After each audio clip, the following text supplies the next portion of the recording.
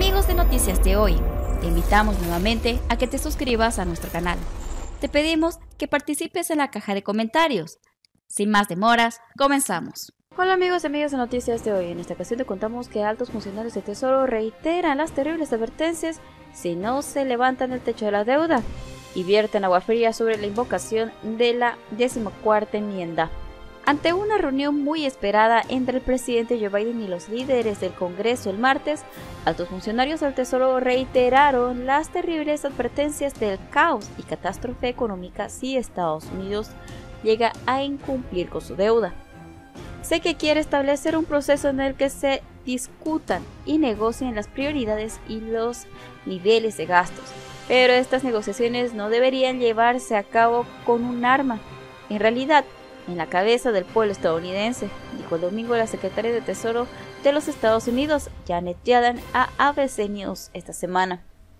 Si bien los republicanos de Congreso quieren vincular cualquier aumento de techo de deuda con los recortes de gastos y presupuesto, la administración ha dicho que los dos temas son separados. Yellen y su número 2, el subsecretario de Tesoro Walia de Yemon, pintaron un cuadro crudo de caos económico si no se levanta el techo de la deuda y confirmaron que los últimos datos del Tesoro aún indican que Estados Unidos podría incumplir el primero de junio. Si incumpliéramos con nuestra deuda tendríamos un impacto terrible en la tasa de interés y las tasas de intereses son la clave para que todos compren una casa, compren un automóvil, para que las empresas inviertan, dijo Adeyemo el domingo en MSNBC, advirtiendo que el clima actual de incertidumbre ya está teniendo un impacto en la economía, ya que las empresas planifican para una posible catástrofe en lugar de futuras inversiones. Ya vamos a empezar a ver los impactos en la economía del techo de que el Congreso no haya quitado esto de la mesa, dijo Adeyemo. Economistas de la Casa Blanca y analistas independientes han advertido que la política arriesgada actual y un posible incumplimiento futuro podría tener un impacto ruinoso en la economía estadounidense, hundiendo el mercado de valores y acabando con millones de empleos. Si no lo hacemos, tendremos una catástrofe económica y financiera que será nuestra propia creación y no hay acción que el presidente Biden y el Tesoro de los Estados Unidos pueda tomar para prevenir esta catástrofe, dijo Yellen, y agregó que cuando fue presionado por ABC que no hay buenas opciones para tomar si el Congreso no actúa. Los comentarios se producen cuando algunos han especulado sobre las posibilidades de que el presidente Biden invoque la decimocuarta enmienda o tome otras medidas extremas si el techo de la deuda no se eleva a tiempo.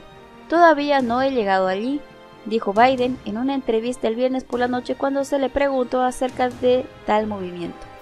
Si bien es una solución teórica, los expertos también han dicho que la emisión unilateral de deuda por parte del presidente sin un aumento de techo provocaría una crisis constitucional y crearía una gran incertidumbre que conduciría a una crisis económica y financiera a pesar de todo. Las administraciones anteriores han considerado que tal medida es inviable. No hay forma de proteger nuestro sistema financiero y nuestra economía que no sea que el Congreso haga su trabajo y eleve el techo de deuda, dijo Yellen. Adeyemo también rebajó las habilidades de usar la decimocuarta enmienda cuando se le preguntó al respecto el domingo y dijo que la única forma de garantizar que Estados Unidos pueda pagar sus cuentas es elevando el techo de la deuda. Washington en el reloj. Biden, cuya Casa Blanca ha dicho que aceptará solo una propuesta limpia para aumentar el límite de la deuda, se sentará el martes con el presidente de la Cámara de Representantes, Kevin McCarthy, un republicano de California y otro líder de Congreso para discutir el techo de la deuda. El presidente del House Financial Service, Patrick McHenry, expresó modestos pesimismos el domingo ante la perspectiva de que se concrete un acuerdo de deuda. El republicano de Carolina del Norte, sugirió en the Nation de CBS que el compromiso final para aumentar el límite de deuda se parecía mucho al proyecto de ley que aprobamos en la Cámara y agregó que en esta etapa del juego el ingrediente clave que no tengo es lo que la administración aceptaría.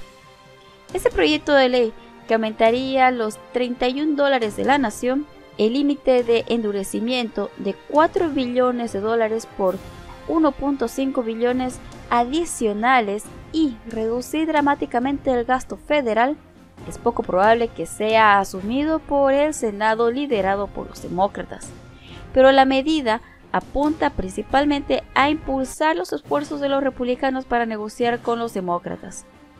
El líder demócrata de la Cámara de Representantes, Haken Jeffries, de Nueva York, calificó la propuesta republicana como una nota de rescate el domingo, calificándola de ley de incumplimiento de los Estados Unidos. O los republicanos quieren que aceptemos estos recortes drásticos o que aceptemos un incumplimiento catastrófico de la deuda de nuestra nación. Esa es la posición irrazonable y, con suerte, en unos días los republicanos volverán en sí y harán lo correcto por el pueblo estadounidense, dijo Jeffries en Meet the Press de NBC. Mientras tanto, la senadora independiente de Arizona, Kristen Sinema, dijo que los republicanos y la Casa Blanca deben explorar opciones para elevar el techo de la deuda porque ninguna posición tiene los votos para ser aprobada. La realidad es que el proyecto de ley de Kevin McCarthy y sus colegas aprobaron en la Cámara no va a ser la solución. No existen los votos en el Senado de los Estados Unidos para aprobar eso. Pero lo que ofrece el presidente tampoco es una solución realista. No va a haber un simple límite de deuda limpio. Los votos no existen para eso, dijo Cineman a CBS el domingo. Dijo que las dos partes deberían negociar una solución que proteja la plena fe y el crédito de los Estados Unidos de América. Por otro lado, el senador James Lackford, republicano por Oklahoma, dijo el domingo que le resulta sorprendente que el presidente Biden no haya estado dispuesto a negociar con los legisladores sobre el techo de la deuda a medida que se acerca la fecha límite para evitar el incumplimiento. Durante una aparición en This Week de ABC, Lackford miembro del Comité de Finanzas del Senado, señaló que ha pasado más de tres meses desde que Biden habló con los legisladores sobre el tema. Todos sabían que esto venía y el presidente se negó a poder negociar al respecto, dijo Lamford al presentador George Stephanopoulos. Esa ha sido la parte más sorprendente de esto. Todos sabían lo que vendría. Es hora de poder negociarlo.